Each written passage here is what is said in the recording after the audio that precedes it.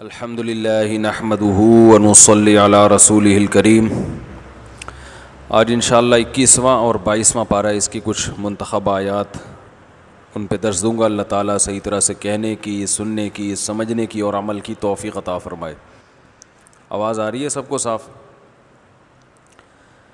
इक्कीसवां पारा जो शुरू होता है उतलुमा ऊहिय का मिनल किताबी व अकीमसलाह इन सलात तनहाफ़ाशा वलमुनकर ए नबी, आप पर जो कुरान नाजिल हो रहा है, वो आप इनको पढ़ के सुनाइए और नमाज़ कायम करें। नमाज़ बेहयाई और बुरे कामों से रोकती है। जब मैं बयान करता हूँ ना तो मैं लोगों से कहता हूँ, सिमट के बैठे। हैं तो आज मैं कह रहा हूँ कि सिमट के ना बैठें, ठीक है ना? एहतियात करें ज़रा, फासले से बैठें, चिपक के ना बैठें, थोड़ा साइड पे, फासला रखें, तख्ती लगा लें, पीछे फासला रखें। ये भी लिखवा लें तब पढ़े तो पास कर, वरना सही है ना? बसों में लिखा होता है।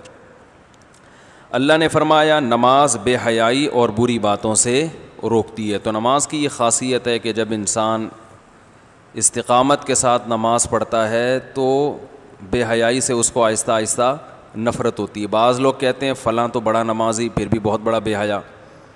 तो समझ लें कि अगर नमाजी ना होता तो इससे भी बड़ा बेहया होता।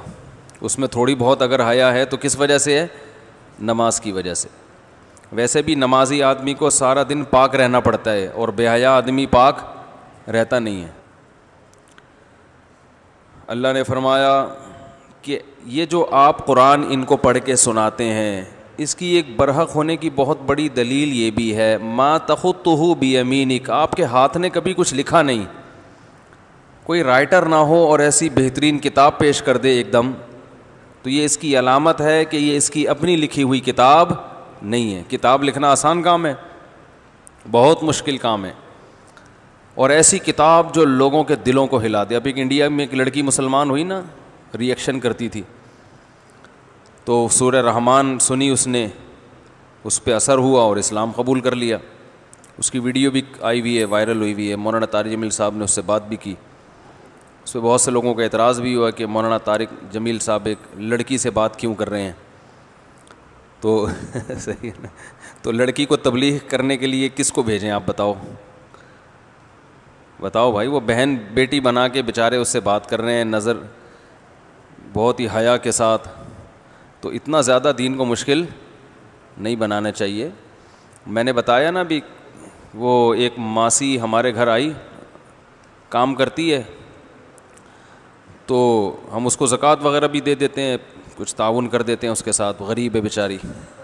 तो मेरे घर वालों से कह रही थी, ये मुफ्ती साहब देखो, ताउन कर देते हैं।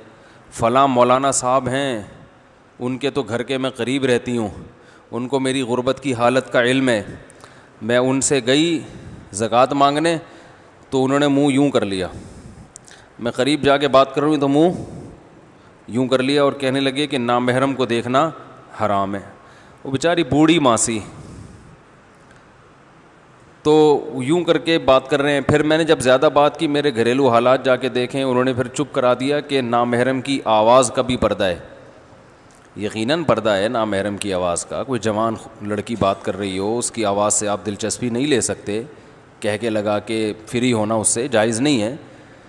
लेकिन उस बेचारी पर एक मासी को क़यास करना और वो वो भी किसी ज़रूरत से आई है। और वैसे भी उस बेचारी को देखने से क्या बदनज़री होगी? यहाँ देखने के लिए पता नहीं लोग क्या क्या क्या देख रहे हैं, अल्लाह की पना तो मुझे बड़ी हँसी आई उस मासी के अंदाज पर। कहने लगी, मैं जब वहाँ गई तो वो यूँ मुँह कर लिया कि नाम बहरम को देखना। वो जो बेचारी घरों में होती हैं ना तो फितने, बात यह है कि नामहरम को देखना कोई ज़रूरत हो और फितने से इंसान महफूज हो तो फिर कोई हरज नहीं है। नबी सल्लल्लाहु अलैहि वसल्लम की मजलिस में अगर कोई ख़ातून आई कभी, कोई बात करने के लिए तो आपने यूँ थोड़ी कर लिया कि नामहरम को देखना, हराम है, बात नहीं करो मुझसे, चलो यहाँ से, भागो यहाँ से। बात की आप सल्लल्लाहु अलैहि वसल्लम ने। हाँ ये कि इसमें उलमा इसलिए एहतियात का हुक्म देते हैं कि यहाँ तक लोग कनात नहीं करते, वो बहुत ज़्यादा फ्री हो जाते हैं। और फिर जनाब वो गप्पें भी लग रही हैं और हा हा हु हु भी चल रहा है, जैसे आजकल मार्केट में चल रहा है। आपकी कुली के, आपके साथ जॉब करती है ठीक ठाक फ्री हो रहे हैं, जब भी जा रहे हैं उसको, एक ख़ातून यहाँ जॉब करती थी तो वो लांढी उनका कहीं ऑफ़िस था नाजमाबाद से लांढी कितना दूर है? तो उन्होंने बताया कि मैं जब भी जा रही होती ना, पंद्रह बीस आदमी आ रहे होते हैं कि लिफ्ट, आप हमारे साथ चलें। ठीक है ना। आप किसके साथ चलें? तो ये नीयतें ख़राब होती हैं। लेबल खिदमत का लगा है और नीयतें ख़राब हैं। क्योंकि भाई, अगर इतना ही शौक़ है तो और भी तो आठ दस बूढ़े आपको नज़र आए होंगे ना रास्ते में। बेचारे पैदल जा रहे होंगे, उनको तो कभी किसी ने नहीं कहा कि अंकल, आप हमारे साथ चलें। तो आंटियों के पीछे लिफ्ट देने के लिए पड़े रहते हैं। लेकिन अगर कोई वाकई बुरी नीयत नहीं है, कोई वाकई खिदमत कर रहा है तो उसमें तो भाई कोई हर्ज नहीं है, बल्कि सवाब की बात है। हाँ फितने से इंसान महफूज हो। या आलम ख़ाइन तलायन अल्लाह आँखों की ख़यानत को भी जानता है। वमा तुफ़ सदूर, और सीनों के भेदों को भी जानता है अल्लाह ताला। तो उन मौलाना साहब का बहरहाल तकवा है कि वो एहतियात कर रहे हैं, लेकिन इतना ज़्यादा जब आप दीन को भयानक बना देंगे वो तो चलें, अपनी लिहाज से जो कर रहे हैं, वो तकवे की बेस पे ही कर रहे हैं, अल्लाह उनको इसका अजर देगा। लेकिन इतना जब बना देंगे तो लोग दीन पे आएँगे नहीं फिर। अब वो बेचारी मासी है, भाई उसकी मदद करो। एक दफ़ा बाइक पे जाते हुए खातून नीचे गिर गई। लड़की थी तो हमारे दोस्त अहबाब कुछ खड़े हुए थे, उन्होंने जाके, मुझे आके बताया उन्होंने। वो बेचारी चीखें मार रही है, एक्सीडेंट हुआ है तो उसको उठाना है ना? तो इन्होंने कहीं उठा दिया, मदद की उठाने में, और कहीं भी एंबुलेंस में डाला या क्या किया। अब आके कह रहे हैं कि मैंने किसी को बताया, किसी मौलाना साहब को तो उन्होंने कहा नामहरम को आपने हाथ क्यों लगाया? तो मैंने कहा, वो बेचारे को वहाँ तड़पने दें, पता चला कोई दूसरा ट्रक आके नामहरम को कुचलता हुआ, चला जाए। रोड पे उसको तड़पने दें तो नामहरम को कुचलने का गुना नहीं होगा। तो ऐसी ज़रूरत में मेरे भाई एहतियात के साथ अपनी बहन समझ के उसको, उसकी मदद करनी चाहिए। तो बहरहाल में ये आयतें क्या कहाँ से कहाँ पर चली जाती है? तो नबी सल्लल्लाहु अलैहि वसल्लम के हाथ ने कभी कुछ लिखा नहीं। अल्लाह फरमाते हैं तो राइटर नहीं है। अचानक एक ऐसी किताब जिससे लोगों के दिल तब्दील हो गए। हज़रत उमर बिन ख़त्ताब जैसा सख्त दिल कैसे पिघल गए वो कुरान की आयतें सुन के? और वाकई ऐसा ही होता है। तो वो हिंदू लड़की मुसलमान हुई, माशाल्लाह अल्लाह ताला उसके इस्लाम को कबूल करे। तो अगर मौलाना तारज मिल साहब उसको अप्रिशिएट ना करते फ़ोन करके तो नावे रमो सही है। जैसे सुनाते उसको ठीक ठाक वो कहती भाई, हम वापस जा रहे हैं। तो आहिस्ता आहिस्ता तमीज़ से आराम आराम से समझाया जाता है स्टेप बाय स्टेप देखो, नबी सल्लल्लाहु अलैहि वसल्लम की खिदमत में एक शायर आए। आप सल्लल्लाहु अलैहि वसल्लम ने जब मक्का फ़तह किया ना तो आपने हुक्म दिया था, बाज़ इस्लाम दुश्मनों का नाम लेके हुक्म दिया था कि इनको जहाँ पाओ कत्ल कर दो। असल तो ये था कि फ़तह मक्का में आपने सबको माफ़ कर दिया। बड़े बड़े ालिम थे जिन्होंने जुल्म किया, आपको मक्का से निकाला। आपने अमूमी माफ़ी का ऐलान कर दिया कि मैं वही कहूँगा जो यूसुफ़ ने अपने भाइयों से कहा था। ला तसरीबा अलैकुमुल सब माफ़। लेकिन कुछ ऐसे थे कि उनके बारे में नबी ने कहा था, ये माफ़ी नहीं है। उनमें एक थे काब ज़ुहैर। ये नबी के शान में, नबी के ख़िलाफ़ हजव करते थे, शायरी करते थे रसूलुल्लाह सल्लल्लाहु अलैहि वसल्लम के ख़िलाफ़। शायरी में बड़ी जान रखी है अल्लाह ने। शायर अपने कलाम को बहुत अच्छे मकसद के लिए भी इस्तेमाल कर सकता है, बहुत ख़राब भी इस्तेमाल कर सकता है। तो वो नबी ने उनके बारे में भी हुक्म दिया था, जहाँ पाओ, कत्ल कर दो। तो ये भी फ़रार हो गए। तो बिल आखिर इनको ख्याल हुआ कि मैं फ़रार होकर कहाँ जाऊँगा। तो ये छुपते छुपते मक्का में आए और हज़रत अबू बकर से जाके मिले और कहने लगे, मुझे किसी तरह नबी की मजलिस में ले जाओ, मैं इस्लाम कबूल करना चाहता हूँ। तो वो सिफारिश बन के सिफारिशी बन के इनको ले आए। अब इनको पता था कि मैंने हमेशा नबी की शान में शायरी के ज़रिए गुस्ताखी की है। तो अब इसकी तलाफ़ी ऐसे ही हो सकती है कि मैं नबी की शान में अशार कहूँ। तो इन्होंने नबी की शान में अशार कहे इन रसूल सैफ़ युस्तज़ाबिही महन्नदुम बिन सयूफ़िल्ला मसलूल मोहम्मद सल्लल्लाहु अलैहि वसल्लम एक ऐसी तलवार हैं जो न्याम से निकली हुई है। और हिंदी तलवार है और अल्लाह की तलवारों में से एक तलवार है। यानी ये बताना चाह रहे थे कि एक ऐसी तलवार है अल्लाह की तलवार कि देखो अब तक मैं इस्लाम कबूल नहीं किया मैंने, लेकिन आज मैं भी मजबूर होकर इस्लाम के हलके में दाखिल हो रहा हूँ। ऐसी पावरफुल तलवार अल्लाह ने आपको आपको बनाया है। ये बड़ी अजमत थी इस्लाम की कि भाई, सारी ज़िंदगी हम मुकाबला करते रहे, मगर आज हमने भी हथियार डाल दिए तो आप ऐसी अल्लाह की तलवारों में से एक तलवार है। नबी के दोनों पहलू हैं। एक आपके अखलाक करीमा हैं, कि कभी चीखते चिल्लाते नहीं थे, बाज़ारों में शोर व शगब नहीं था। ऐसे प्यारे अखलाक, लेकिन एक तरफ़ आपका पहलू क्या है? आप एक जंग के कमांडर भी हैं। लड़ाइयाँ लड़ी हैं आपने। और मक्का जब फतह हुआ तो आप सल्लल्लाहु अलैहि वसल्लम ने लोहे की ज़रा पहनी हुई है। आज या तो इतने मीठे बनते हैं कि दिल का करता है कि इसको चाय में डबो के खा जाओ। इतने मीठे, इतने नरम मुलायम, सख्त बनते हैं तो इतने के दिल चाहता है इसको थूक दो। तो दोनों पहलू होने चाहिए भाई, सख्ती के मौके पे सख्ती, नरमी के मौके पे नरमी। होता है ना गुलूब है मीठे हैं तो इतने मीठे मीठे कि वो कुछ भी कर लो हज़रत जी के साथ। हज़रत को गुस्सा ही नहीं आता। ये नॉर्मल आदमी थोड़ी होता है जिसको कभी गुस्सा ना आए। रोब भी होना चाहिए। इंसान की दोनों पहलू हैं। रोब भी हो, मोहब्बत भी हो। आप हज़रत मुफ्ती तकी उस्मानी साहब को जानते हैं कितने मीठे हैं, लेकिन इतने नहीं हैं जितने आप समझते हैं। आप अगर उनसे बेवक्त मुलाकात के लिए जाएँ, कोई बेहुदा सवाल पूछें तो वो जवाब नहीं देते। दो तीन दफ़ा पूछेंगे, गुस्से के आसार उनकी पेशानी पे ज़ाहिर। क्योंकि जितने बड़े लोग हैं ना, अगर ये इतने मीठे बन जाएँ तो फिर तो इन दुनिया में कोई काम कर ही नहीं सकते। हमने देखा है, हज़रत को गुस्से में भी देखा है। तो उस वक्त हम कहते हैं भाई, ज़रा एहतियात करो भाई, ठीक है ना? तो नरम पहलू भी होना चाहिए और सख्त पहलू भी होना चाहिए। क्योंकि लोग असल तो यही है कि नरमी है इस्लाम में, लेकिन हर आदमी शराफत की ज़बान समझता नहीं है। बहुत से लोग शर और आफत के ज़रिए कंट्रोल में आते हैं।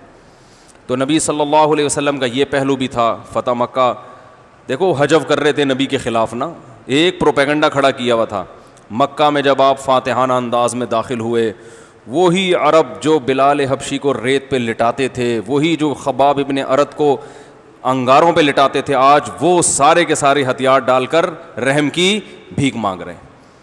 और आप सल्लल्लाहु अलैहि वसल्लम जंगी टोपी उतार रहे थे, किसी ने आके बताया कि इबन ख़तल बैतुल्ला का गिलाफ पकड़ के माफ़ी मांग रहा है। आपने फरमाया, वहीं उड़ा दो गर्दन उसकी। ये ऑर्डर दे रहे हैं आप, सही है ना, जंगी टोपी उतारते हुए? रहमतुल्लिल का ऑर्डर क्या है? वही मार दो गर्दन, इसको ये माफ़, काबिल माफ़ी नहीं है। तो ये भी एक पहलू है। तो अब काबिबन जहेर जब नबी सल्लल्लाहु अलैहि वसल्लम के पास आए तो उनको पता था कि भाई, अब मैं मुसलमान तो यकीन भी हो गया था कि ये दीन बरहक है। ना होता तो अल्लाह इतनी मदद थोड़ी करता। अब इस्लाम कबूल करने के लिए नबी की तारीफ़ शुरू की इन रसूल लसईफ़ी रसूल एक ऐसी तलवार हैं जिसके ज़रिए इस्लाम की रोशनी दुनिया में फैल रही है।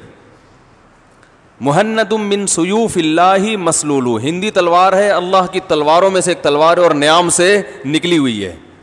न्याम में गई नहीं है। तो ये बात कहने से पहले उन्होंने जो शायरी की है, अरब की आदत थी कि जब भी शायरी शुरू करते थे तो असल मुद्दा बयान करने से पहले अपनी माशूक़ा का तस्करा करते थे शायरी में। ये उनका कल्चर था। तो काबिबन जहेर जब आए नबी के पास तो उन्होंने उसी कल्चर के हिसाब से पहले अपनी माशूक़ा का तस्करा शुरू कर दिया। ठीक है ना? इस्लाम ने इस कल्चर को ख़त्म किया। इस्लाम ने कहा, जब भी कोई खुतबा, शायरी होगी, पहले अल्लाह की हमदोसना अल्हम्दुलिल्लाह नहमदहू वनसली ये इस्लाम ने इसका मुतबादल दिया कि भाई अल्लाह की तारीफ़ करो। लेकिन अरब में ये कल्चर था। तो अभी तो बेचारे नए नए मुसलमान हो रहे हैं ना, उनको थोड़ी एकदम समझ में आएगा क्या सही है, क्या गलत। तो उन्होंने बैठते ही अपनी महबूबा की माशूक़ा की तारीफ़ें शुरू कर दी। बान स्वादन फ़कल बिल यौम मबतूलू मुतयमन इसराहा लम युफ्त मकबूलू।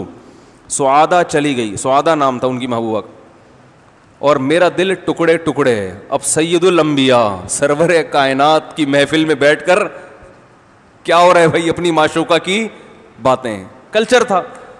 बान स्वादु स्वादा चली गई फ़कल बिल यौम मबतूलू। मेरा दिल टुकड़े टुकड़े है मुतयमन इस रहा मेरा दिल उसके पीछे पीछे चला गया, सीने से निकल गया, लम युफ्दा। और उसके बदले में कोई दूसरा दिल भी नहीं आया सीने में, अब दिल लेस घूम रहा हूँ मैं। सही है ना, बगैर दिल के घूम रहा हूँ। नहीं यार, ये ये तो समझ में, बयान समझ में ना, ये वाली बातें तो बहुत अच्छी तरह। क्या ख्याल है? आप बोले यार, ये हमारी अक्कासी कर रहे थे वो तो। और आगे कह रहे हैं कि लाकिन नहा खुल्लतुन कद सीता मिन दमिहा, फजउन व वलउन व इखलाफू व तब्दीलू। ये एक ऐसी दोस्ती है जिसके खून में गिरगिट की तरह रंग बदलना, झूठ बोलना और मुलम्मा साजी, ये उसके खून में शामिल। ये शायरों के यहाँ ना महबूबा की तारीफ़ होती है कि झूठ बोलती है, टाइम पे आती नहीं है। और धोखा देती है। ये महबूबा की तारीफ़ में कहते हैं, क्योंकि जो महबूबा जो टाइम दिया फ़ौरन पहुँच जाए। जो वादा किया पूरा करके दिखाया, इसका मतलब इस महबूबा के पास करने के लिए और कोई काम? बोलो भाई, है नहीं, ये तो फालतू है। महबूबा तो नखरे वाली अच्छी होती है ना टाइम दिया नहीं आया, इसका मतलब इसके नखरे हैं। तो ये शायरों का पहले कल्चर अब भी होता है। ये कल्चर होता है कि झूठ बोलना, जालिम कहते हैं ना, महबूब को। भाई शायरी में महबूब को क्या कहते हैं? जालिम भी कहते हैं, कातिल भी कहते हैं, ये सारी वैसे तो गालियाँ हैं, लेकिन शायरी में ये खूबसूरत तरीन अलकाबात हैं।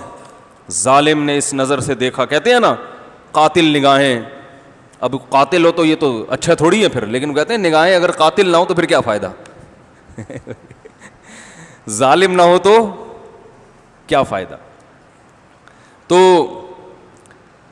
वो नबी सल्लल्लाहु अलैहि वसल्लम के सामने अपनी महबूबा का तस्करा। लेकिन आप सल्लल्लाहु अलैहि वसल्लम ने उन्हें कुछ भी नहीं कहा कि भाई अभी आए हैं दीन पर, इस्लाम में दाखिल होंगे, हमारे कल्चर से मानूस होंगे, आहिस्ता आहिस्ता आ जाएँगे, जब भी हम दो, जब भी शायरी होगी तो पहले अल्लाह की तारीफ़ें करेंगे, अभी आने दो। हम होते, हम वहीं से उठ के सर कलम कर देते, कह एक तो तुम वैसी वाजिबुल थे, ऊपर से नबी की महफिल में बैठ के अपनी माशूका की बातें तुमने शुरू कर दी, ये कौन सा तरीका है? तो आप सल्लल्लाहु अलैहि वसल्लम का ज़र्फ़ देखें शायरी करते जा रहे हैं, आप सुनते जा रहे हैं। यहाँ तक कि जब पहला शेर फिर नातिया कलाम पढ़ना शुरू किया ना इन रसूल सईफ़ युस्तवाबिही मुहन्नदमिन सयूफ़िल्ला मसलूल। लाकिन रसूल कहा या इन रसूल कहा? लेकिन रसूल वो एक ऐसी तलवार हैं जिसकी रोशनी पूरी दुनिया में फैल रही, जिसकी चमक से पूरी दुनिया में हिदायत की रोशनियाँ फैल रही हैं। जब ये अल्फाज कहे ना कि ये तो देखो, तलवार के ज़ोर से मक्का फ़तह हुआ। जब किसी फ़ौज की बहादुरी की तारीफ़ दुश्मन करे तो फ़ौज के कमांडर के क्या जज्बात होंगे ना? भाई, क्या हो गया? वो पहले वाला शेर तो समझ में आ रहा, तब ये वाला नहीं आ रहा। पहले वाले पे देख रहा था, बड़े खिलखिले खिले खिले से चेहरे हो रहे थे। जब कोई फ़ौज लड़ाई के ज़रिए किसी इलाके को फतह करे और दुश्मन कहेगा इसका कमांडर बहादुरी से लड़ाए तो वो फ़ौज के जो कमांडर होगा ना, उसके जो जज्बात होंगे, वो मैं और आप नहीं समझ सकते। ये वही समझ सकता है जिसने जंगें लड़ी हों। उधर नबी सल्लल्लाहु अलैहि वसल्लम फातिहाना अंदाज में तलवार ज़मीन पर रख के बैठे हुए हैं और ये आके आपकी, ये दुश्मन में थे ना, ये तारीफ़ कर रहे हैं कि ऐसी तलवार है जिसकी रोशनी चमक रही है। तो जब ये शेर उन्होंने पढ़ा है, आप सल्लल्लाहु अलैहि वसल्लम को इतना अच्छा लगा, इतना ये शेर सुन के आपको खुशी हुई कि आपने अपनी चादर फ़ौरन उतारी और उनको हदिया दे दी। और उस ज़माने में एक लुंगी और एक चादर हुआ करती थी। हमारे फरमाते थे, गालिब यह है कि उसके अलावा, लुंगी के अलावा आपके जिसम पे और कोई चादर नहीं थी। इतने खुश हुए ना ये शेर सुन के कि वो चादर उतार के आप सल्लल्लाहु अलैहि वसल्लम ने कहा, कत्ल का ऑर्डर कि भाई सबको कत्ल, जो ख़ास ख़ास लोग हैं, उन सबको कत्ल करो। इनके कत्ल का ऑर्डर है। लेकिन आप सल्लल्लाहु अलैहि वसल्लम ये शेर सुन के इतना खुश हुए कि अपनी चादर उतार के आपने उनको दे दी, गिफ्ट दे दी उनको। नबी की चादर की उनकी नज़र में खरबों रुपए की वैल्यू थी। आज कोई क्रिकेटर अपना बल्ला बेच रहा होता है, करोड़ों रुपए लग जाते हैं उसके। तो देखो, उस ज़माने में नबी की साहबा तो महफूज रखते थे, नबी के बाल, नबी की चादरें जो आजकल मुँह मुबारक दिखाए जा रहे हैं वो नहीं है। कहीं आपके अच्छा वहाँ भी दुबई में सुना एक जगह दिखाए जा रहे थे, ये वो नहीं है। लेकिन साहबा बड़े अहतमाम से रखते थे। तो बताना मेरा मकसद ये था कि भाई, एक नया दीन पर आया है नए नए मुसलमान हुए हैं तो थोड़ा सा ज़र्फ़, एकदम हम क्या करते हैं, फतवे लगाना शुरू कर देते हैं। तो इससे तो दीन में दाखिला क्या हो जाएगा? बोलो ना भाई, बंद हो जाएगा। ठीक ना? जुनेद जमशेद बेचारा गुलकार था, तोबा करके इधर आ गया। गुलकारी में इतना परेशान नहीं हुआ जितना दीन पे आने के बाद परेशान हुआ। एक एक लफ्ज़ उसका पकड़ा जाता। एक एक लफ्ज़ को जो है वो दाएँ बाएँ लगा के पता नहीं क्या से क्या बना देते हैं। तो अल्लाह ताला ने इरशाद फरमाया कि नबी, आप किसी किताब के राइटर नहीं हैं। आपने तो एक लफ्ज़ भी कभी हाथ से नहीं लिखा। तो ये इतना बड़ा कुरान जो आपने पेश कर दिया इदल्लरताबलमुबतिलून अगर आप पहले से मुसनफ़ होते, कोई राइटर होते तो इनको शक करने की गुंजाइश होती। आपने तो कभी कोई किताब लिखी नहीं, लिखना पढ़ना नहीं जानते, अलिफ और बा का फ़र्क नहीं जानते। तो आपके ज़रिए से ऐसी किताब पेश कर देना, जिससे लोगों के दिल हिल जाएँ। ये इसकी अलामत है कि ये आपका कलाम नहीं है, बल्कि ये अल्लाह का कलाम है। अल्लाह अकबर। इसी सूरत में अल्लाह ताला ने अपनी निशानियाँ बयान की। वमिन आयाति ही अन अनखलकुम बिन तुराब। उसी की निशानियाँ हैं कि उसने तुम्हें मिट्टी से बनाया। तुम मैदान तुम बशर उन तन तशरून इंसान बन के ज़मीन में फैलते हो, दौड़ते चलते फिरते हो। मिट्टी के बने हुए पुतले हैं जो ज़मीन में दौड़ रहे हैं। एक रोबोट कितनी पेचीदा मशीन है। कोई ये कह सकता है कि ये खुद से बनाए। तो इंसान ज़्यादा पेचीदा या रोबोट? बोलना पड़ेगा भाई। तो इंसान खुद से कैसे बन सकता है? मैंने बताया था ना, मैं साहब के साथ जा रहा था, वो यहीं की यूनिवर्सिटी में पढ़ते हैं। तो उन्होंने कहा यूनिवर्सिटी में हमारे एक प्रोफेसर एथियस्ट हैं, मुलहिद हैं, दलील दे रहे थे माज अल्लाह अल्लाह के वजूद ना होने की दलील दे रहे थे। कह रहे हैं कि वो दलील दे रहे थे, देखो, गाड़ी में एक्सीटर जब लगाओगे तो गाड़ी चलेगी ब्रेक लगाओगे तो ब्रेक लगेगी। तो यहाँ कोई काम अल्लाह नहीं कर रहा, सारे काम खुद ही करने पड़ते हैं। कभी अल्लाह से बोलो गाड़ी चला दे तो नहीं चलेगी, अल्लाह से बोलो ब्रेक लगा दे तो नहीं लगेगी। तो सब काम इसबाब से हो रहे हैं यहाँ पे। माज अल्लाह अल्लाह नहीं है। सब काम किससे हो रहे हैं? इसबाब से। गाड़ी का एक्सीटर दबाओगे तो चलेगी, ब्रेक लगाओगे तो लगेगी। मैंने कहा, यही बहुत बड़ी दलील है कि अल्लाह के वजूद की। गाड़ी जब चलने में एक्सीटर की मोहताज है, ब्रेक, जब तक ब्रेक लगाओगे नहीं लगेगी। तो ये गाड़ी खुद से बन कैसे गई? कोई बनाने वाला होगा तो बनेगी, बगैर बनाने वाले के नहीं बनेगी। और जब ये गाड़ी बनाने वाले के बगैर नहीं बन सकती तो इतनी बड़ी कायनात जिसमें गाड़ियाँ भी हैं, ट्रेनें भी हैं, जहाज़ भी हैं, दरिया भी हैं, बारिश का निज़ाम भी है, ये पूरी कायनात और इंसान जो गाड़ी से ज़्यादा पेचीदा मशीन है, जापान के साइंसदानों ने गाड़ियाँ बना दी, अब तक इंसान नहीं बना सके। तो जो गाड़ी बनाने वाला इंसान है, वो खुद से कैसे बन गया? उसे भी तो किसी ने बनाया होगा। कमाल की बात है, गाड़ी नहीं चलेगी जब तक एक्सीटर पे पाँव नहीं रखेंगे। और इंसान, यानी गाड़ी एक कंडीशन से दूसरी कंडीशन में चेंज होने के लिए सबब की मोहताज है। बनने में सबब की मोहताज नहीं होगी क्या? अरे भाई, किसी चीज़ को एक हालत से दूसरी हालत में कन्वर्ट करना कन्वर्टर के बगैर मुमकिन नहीं है। उसको पैदा करना क्रिएटर के बगैर कैसे मुमकिन हो गया? गुस्सा आने लगता है, मेरा दिल चाहता है मैं उठा उठा के यहाँ से ठुकाई लगाऊँ। तो क्रिएटर के बगैर उसको क्रिएट करना कैसे मुमकिन हो गया? तो जब गाड़ी का मुमकिन नहीं है तो इस पूरी कायनात हो बल्कि ये इंसान, इसका कैसे मुमकिन हो गया? जो गाड़ी बनाने वाला है। तभी तो अल्लाह ने गाड़ी के बारे में नहीं पूछा कि खुद से बनी है, तुमने बनाया। अल्लाह को पता है तो तुमने बनाई है। हमारे बारे में अल्लाह ने पूछा, खुद से बने हो या किस या तुमने खुद अपने आप को बनाया है? यकीनन हमने अपने आप को नहीं बनाया। तो बनी हुई चीज़ों को देखकर हम ये तो कह रहे हैं कि कोई बनाने वाला है। अपने आप को देखकर नहीं कह रहे कि हमें भी कोई बनाने वाला है। हम कह रहे हैं, खुद से इत्तेफाक से बंदर से वजूद में आ गए हम। तो ये पागल है, कमबख्त, इनकी बातों में ना आया करो एथियस्ट। ये जितने दलाइल दे रहे हैं ना, ये सारे दलाइल इनके खिलाफ जा रहे हैं। समझ में नहीं आ रही बात, मेरा ख्याल है। ये सारे दलाइल इनके खिलाफ जा रहे हैं। इनकी जब अकल मारी जाती है ना, जैसे पत्थरों के बने हुए बुद्ध के सामने इंसान झुकता है तो अकल मारी जाती है, क्या हो गया भाई? आप समझाओ, समझ में नहीं आएगा। तो ऐसे ही जो खुदा के मुनकर हैं, ऊपर से क्या हैं? खाली है दिमाग। रोबोट के, मैंने एक एथियस से बोला, मुझे एक बात बता भाई तू। ये जो तस्वीर अगर मैं यहाँ बनाऊँ एक इंसान की, बेजान बेजान आँख, बेजान नाक, बेजान जबान, बेजान दांत, बेजान कान, चेहरे की तस्वीर बना दो। कोई आपसे आके पूछे, ये खुद से बनी है? एक साइंसदान ने दावा किया है कि ये करोड़ों साल रंग के डब्बे मिक्स होकर ये तस्वीर खूबसूरत सी बन गई। तो आप मानोगे? वो कहेगा, कभी नहीं। मैंने कहा, ये तस्वीर जो बेजान है, खुद से नहीं बन सकती। जबकि ऐसी आँख जो देखती भी हो, ऐसी नाक जो सूंघती भी हो, ऐसे कान जो सुनते हो, ऐसी जबान जो चखती और बोलती हो, ऐसे बाल जो ग्रो करते हो, और ऐसी भवें जो ग्रो करती हों, और ऐसे होंठ जो बोलने का का ज़रिया बनते हों और खूबसूरती पैदा करते हों और फिर उसमें हा, उस चेहरे में हाथ भी, टांगे भी, पाँव भी, दिल भी, दिमाग भी, जिगर भी और ये सारे पुरजे एडजस्ट होके अपना अपना काम कर रहे हों। ये खुद बहुत कैसे बन गया? और डॉर्वन ने ये तो कभी दावा नहीं किया कि ये बेजान बुत खुद से वजूद में आया है। वो कह कहेगा, ये इंडिया वालों ने बनाया है। थाईलैंड में जो बुतों की एक होलसेल मार्केट है, चार बुतों पे पांचवा फ्री मैं गया था वहाँ पे, वहाँ भगवान जो है ना, थाईलैंड में भगवानों की एक बड़ी मार्केट मैंने देखी। उसमें फ़ायदा ये था कि चार भगवान पे एक फ्री। ठीक है ना? तो वो जो भगवान थे ना, वो भगवान अच्छा चार भगवान पे एक फ्री और कुछ खसूसी पैकेज के तहत वो रेट उनके नीचे भी होते थे। वो भगवान जो आपकी बिगड़ी बनाएँगे, चार खरीदने पर एक, बोलते क्यों नहीं भाई, फ्री? ठीक है ना? तो एक खबर दे रहा हूँ मैं। अब मुझे एक बात बताओ, वो भगवान, वो बुद्ध जो ना देखता है, ना सुनता है अमलहुम अर्जुल यमशू बिहा इसकी ऐसी टांगे नहीं है जिससे चल सके। कुरान कहता है अमलहुम आयुन युबसिर बिहा इसकी आँखें नहीं है जिससे ये देख सकता है। अमलहुम आदान यसमाऊ न बिहा अल्लाह फरमाते इन बुतों की ऐसे कान है जिससे ये सुन सकते हैं। कुछ भी नहीं है विचारों का।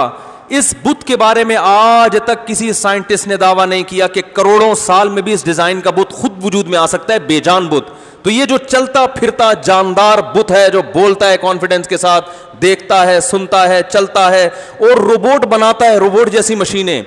और लोहे को पिघला के हवाई जहाज़ बना के उड़ा लेता है। सही है ना? इतना जहीन दिमाग वाला बुत डॉर्वन कहता है, इत्तेफाक से वजूद में आ गया। खुदा की कसम कुरान की आयत याद आती है ऐसे मौके पे फ़ैनहा ला तामल अबसार। अल्लाह कहते हैं, आँखें अंधी नहीं होती। वला किन तामल कलूबुल्लती सदूर। सीनों में जो दिल धड़क रहे हैं, ये अंधे हो जाते हैं। समझ में नहीं आती बातें। तो खुदा ने ईमान दिया है, अल्लाह पे वजूद का यकीन है, इस पर अल्लाह का शुक्र अदा करो और इन कम वक्तों की बातें ना सुना करो। लोग सुनते हैं आजकल इथियस को कहने दलाइल सबके सुनने चाहिए। कोई ताकत नहीं इनके दलाइल में, लेकिन इनके दलाइल आपके दिल में वसवसा पैदा कर देंगे। वसवसा क्या होता है कि इंसान जब एक चीज़ को बार बार सुनता है ना, कितनी ही यकीनी हो, लेकिन शैतान को उसके बारे में वसाविस पैदा करने का मौका मिल जाता है। आपकी इबादतों से इतमान खत्म। अल्लाह के वजूद के दलाइल अल्लाह ने इतने कायम कर दिए हैं और जितने मादी, जो मादा परस लोग हैं ना, जो मादे पे रिसर्च करते हैं तो अल्लाह ने तो कुरान में अपने वजूद के दलाइल मादी चीज़ों से दिए हैं। तो जितना मादे पे रिसर्च करेंगे, अल्लाह के वजूद का और यकीन होता चला जाएगा। लेकिन रिसर्च के लिए बसीरत की आँखें खुली होनी चाहिए। ख्वाहिशात की आँखें अगर खुली होंगी तो यही चीज़ आपको अल्लाह से गाफिल कर देगी। नहीं आ रही बात, मेरा ख्याल है समझ। में अभी मेरा चूँकि टॉपिक नहीं है, इस पर मैं फिर बाद में बात करूँगा किसी में पूरा ये हमारे जो है ना, पारा रह जाएगा। तो अल्लाह ने फरमाया, उसी की निशानियों में से है जिसने तुम्हें मिट्टी से बनाया। फिर तुम इंसान बन के ज़मीन में फैल जाते हो। खलकलकुम बिन अनफुसिकुम अजवाजा उसी की निशानियों में से है, उसने तुम्हारे लिए जोड़े पैदा किए। मर्द के लिए औरत और औरत के लिए मर्द। लितस्कुनु इलैहा, ताकि तुम्हें उनसे सुकून हासिल हो। तो शादी का बुनियादी मकसद क्या है? बोलो भाई, सुकून। घर का बुनियादी मकसद क्या है? सुकून अगर नहीं है तो इसका मतलब कोई टेक्निकल फॉल्ट मुआशरे में? अबे बोलो ना भाई, रोटी का बुनियादी मकसद क्या है? पेट भरना। नहीं भर रही तो ये रोटी का कसूर है। मेदे में गड़बड़ है। पानी का बुनियादी मकसद क्या है? प्यास का बुझना। अगर पानी पीने से प्यास नहीं बुझ रही तो ये पानी की हेडिक नहीं है। पानी की, पानी में फॉल्ट नहीं है। ये फॉल्ट किसका है? मैं एकदम मोबाइल ख़राब हो गया ना। सबको दिखा लिया। वो आवाज़ नहीं आ रही थी। सबको दिखा लिया सरीना मार्केट में। समझ में नहीं आ रहा स्पीकर में मसला क्या है। फिर उन्होंने कहा, मुफ्ती साहब, कान का फॉल्ट मालूम होता है। अब सिर्फ़ कान का चेक कर चेकअप रह गया। इसको तो हमने हर तरफ़ से चेक कर लिया, ठीक है। अब जरा एक दफ़ा अपने कान का भी टेस्ट करा लें। तो बाज़ दफ़ा ऐसा होता है कि आपका कान ही ठीक काम नहीं कर रहा होता। तो मेरा तो ठीक था, वो पता चला मोबाइल में ही कोई फॉल्ट है, उनको समझ में नहीं आ रहा था। रोटी का काम है पेट भरना, नहीं भर रही तो इसका मतलब है मैदे में कोई फॉल्ट बोलते क्यों नहीं यार? आपको मैं बुलवा रहा हूँ, फिर भी ना बोलें तो इसका मतलब आपके गले में कोई फॉल्ट है? गला भी एहतियातन कह रहा हूँ, वरना अच्छा खैर, मज़ाक कर रहा हूँ, इसको सीरियस ना ले जाएँ आप। तो अल्लाह ने बताया कि मकसद क्या है? सुकून। सुकून नहीं मिल रहा, ना मियाँ को मिल रहा है ना बीवी को मिल रहा है। इसका मतलब मुआशरे में कोई फॉल्ट है? वो फॉल्ट बड़ा क्या है? एक दूसरे के हकूक़ का पता ही नहीं है। पता ही नहीं। इस पर मेरा क्लिप है, पूरे डिटेल से मैंने बयान किया, दोबारा सुन लेना। पता ही नहीं है औरत को कि मेरे हकूक़ क्या है, मैंने क्या हकूक़ देने हैं, क्या लेने हैं। शोहर को भी पता नहीं मैंने क्या हकूक़ देने क्या हकूक़ लेने हैं, कहाँ तक मेरी बाउंड्री है हकूक़ की। बस जो जिसका बस चलता है, वो हकूक़ घसीटने में लगा हुआ होता है। ठीक है ना? और को बीच में डालने के लिए तैयार नहीं होते। जब आप ओलमा को, मज़हब को साइड पे लगाएँगे तो मज़हब के अलावा आपको गाइडेंस दुनिया में कहीं भी नहीं मिलेगी। क्योंकि फिर कल्चर आपको गाइड करेगा तो कल्चर तो उल्टी उल्टी चीज़ें गाइड कर रहा होता है। कल्चर हिंदुओं का ये कहता है, जहेज क्यों नहीं लाई? तो सास का हक है कि बहू को ताने दे। कल्चर तो ये कह रहा है ना? भाई कल्चर कह रहा होता है कि हमारे, हमारी ये परंपरा है, हमारी ये हमारी ये दस्तूर है कि जब बहू घर में आएगी तो 21 देवर भी घर में हो तो सबके कपड़े वही इस्त्री करेगी। तो फड्डे तो होंगे ना फिर, आजकल की बहुएँ, वो 25-30 देवर होल सेल के हिसाब से, चचाजात भाइयों को भी देवरों की फहरिस्त में। वो अट्ठारह रोटियाँ पका रही है एक बहू घर में रोज़ाना। मुझे इतला मिली अट्ठारह रोटियाँ। तो मैंने कहा, भाई, ये, इसको यार, ये किसी बावरची को तंदूर से उठा के ले आओ बहू बना के। वो ज़्यादा बेहतर है। ठीक है ना? वो बेचारी नौ उम्र लड़की की शादी हो अट्ठारह रोटियाँ रोज़ आना दिन में तीन टाइम तो मैंने, उसके मियाँ को मैंने बोला, जुल्म है अल्लाह के बंदे। उसने कहा, मेरे अब्बा का हुक्म है, अम्मा का हुक्म है। मैंने कहा, अब्बा, अम्मा से बोलो, मुझे बोल दो भाई। मुझे नहीं, यानी वो उनको अपने आप को। कि मैं बना लूँगा इस, ये तो ज़्यादती हो रही है ना। लेकिन कल्चर है कि भाई सबका खाना बनेगा। तो बाज़ दफ़ा बहू का कल्चर कुछ और होता है, वो सास पे जुल्म कर रही होती है। तो कल्चर कल्चर को हर जगह थोपा हुआ है। और फिर कुछ चीज़ें गोरों से लेते हैं। गोरों का कल्चर तो ये कोई किसी की खिदमत, बोलो भाई, वो कहने, पैसे भी अपने अपने हैं। बेगम अपना बर्गर खरीद के खुद खाएँगी, मियाँ अपना बर्गर खरीद के खुद खाएँगे। तो उनका कल्चर ये है। तो कल्चर तो सही गाइड कर ही नहीं सकता। वो तो अजीब अजीब चीज़ें सिखा रहा होता है। तो इस, आपके पास इस्लाम के अलावा कोई ऑप्शन है ही नहीं तो शादी करने से पहले मैं एग्रीमेंट किया करो कि भाई इस्लाम के मुताबिक जो हुकूक है ना, उन्हीं पे चलेंगे, नहीं तो बता दो। क्योंकि मुझे पता है, फिर पहले से लड़ाइयाँ होंगी, बता दूँ मैं अब। चल ही नहीं सकते, चार दिन नहीं चल सकते। बीस बीस साल की गर्लफ्रेंड्स होंगी ना, दोस्तियाँ होंगी, जिस दिन शादी होगी, अगले दिन से पड्डे शुरू। समझ रहे हो? लोग कहते हैं कि यार पहले अंडरस्टैंडिंग हो जाए, अब देखें, अच्छी तरह परख लें, परख लिया, सब कुछ जो है ना, वो गपशप लगा ली पूरा अंदाज़ा हो गया, उसके बाद शादी के अगले दिन से ही क्या? पढ़े तो इसलिए वो हो ही नहीं सकता। तो अल्लाह ने फरमाया तस्कुन इलेहा वजाला नकुम अवदत व रहमा और अल्लाह ने तुम्हारे दरमियान, यानी मियाँ बीवी के दरमियान बहुत ज़्यादा मोहब्बत और रहमत रख दी। मवद्दा छोटी मोहब्बत को नहीं कहते बेपना मोहब्बत। तो अल्लाह कह रहे हैं, मियाँ बीवी में थोड़ी मोहब्बत नहीं होती बेपना मोहब्बत होती है रहमत भी। रहमत का मतलब एक दूसरे का ख्याल रखने का जज्बा भी ये किसने पैदा किया है?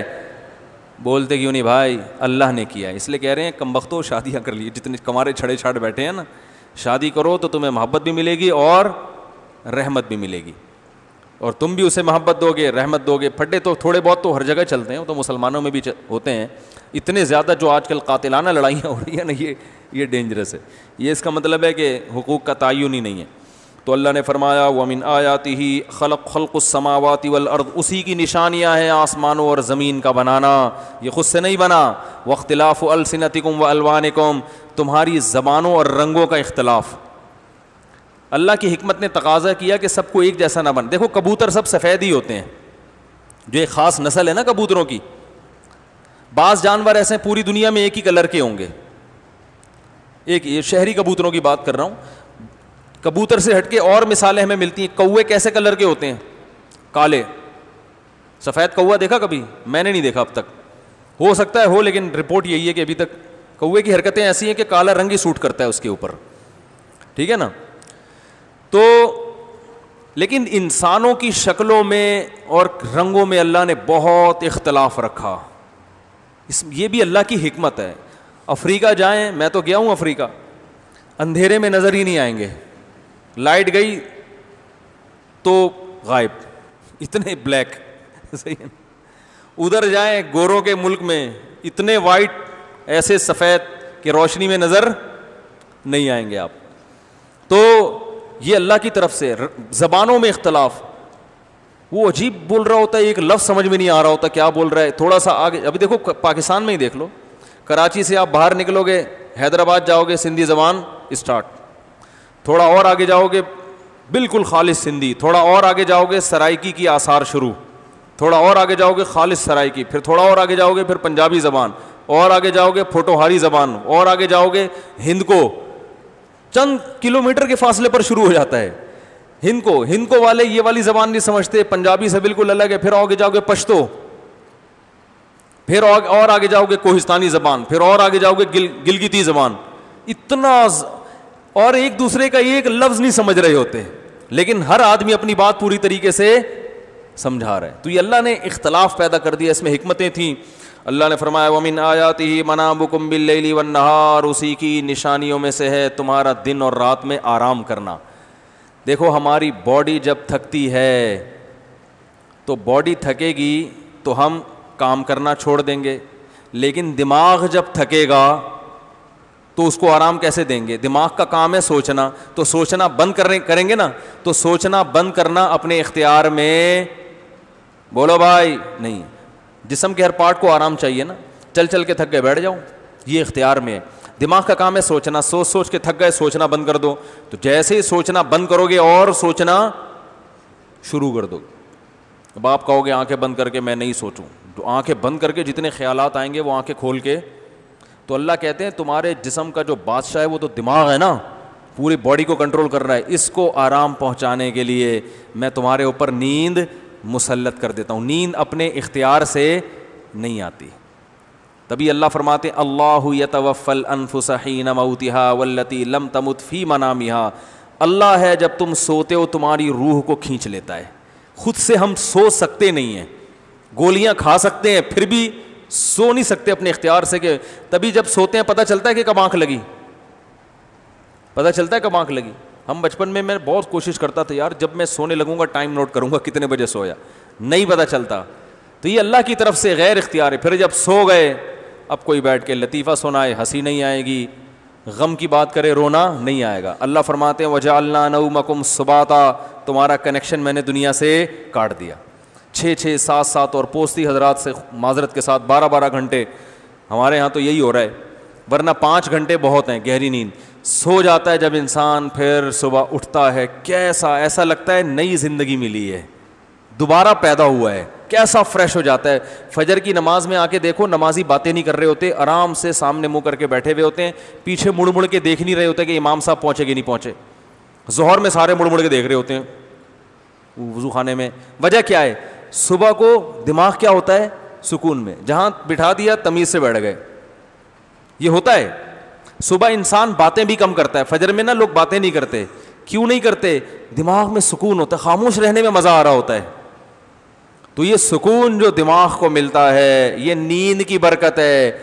डॉर्विन ने क्या दावा कर दिया कि खुद से बना है? ऐसा ऑटोमेटिक सिस्टम इस मशीन में लग गया कि इसको थकावट की ज़रूरत है तो नींद मुसलत हो जाएगी। है भाई? और जब विटामिन डी की ज़रूरत है तो सूरज की रोशनी आ जाएगी। और जब खुराक की ज़रूरत है तो पानी बरसेगा।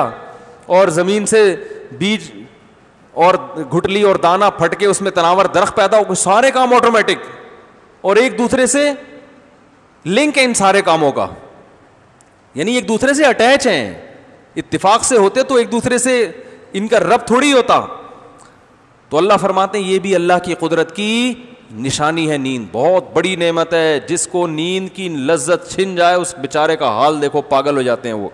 कितना टाइम रह गया भाई? चालीस मिनट होने में। ओए, होए ये हमारे पीर साहब हैं। इनकी तरफ़ से पाबंदी है, चालीस मिनट से ज़्यादा बातें करने पर। और अल्लाह ताला ने इस सूरत में बहुत सारी अहकाम हैं, क्या करें? या तो थोड़े थोड़े हर हुक्म को बयान करें, फिर एक भी पूरा नहीं होता ना। तो बाज़ हकाम डिटेल से बयान कर दें, वो ज़्यादा अच्छा है बनस्बत इसके के एक भी हुक्म डिटेल से बयान ना हो।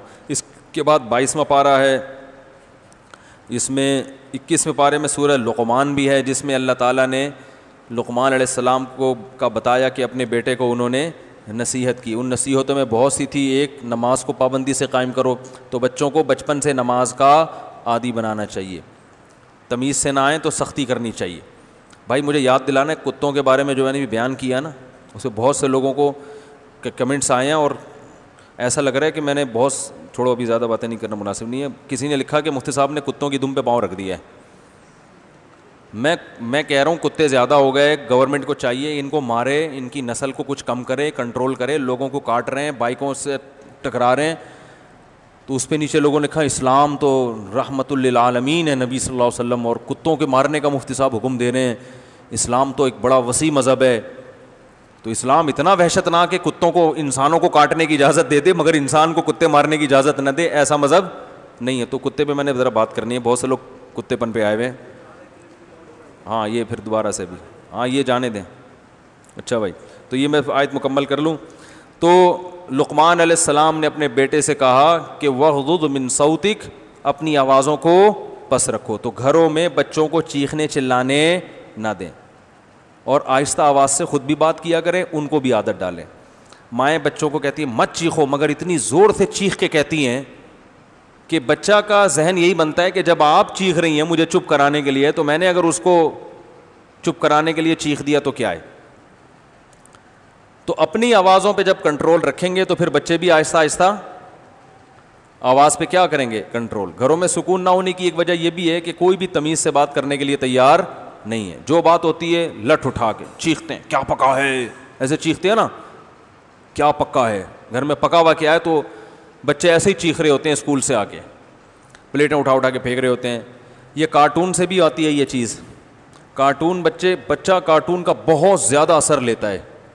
अच्छे अच्छे बच्चे मैंने तबाह होते हुए देखे हैं कार्टून के ज़रिए, क्योंकि कार्टून में एक दूसरे को मार रहे हैं और उल्टी सीधी हरकतें कर रहे हैं अच्छी छोरी हरकतें तो बच्चा वैसे ही बन जाता है वो।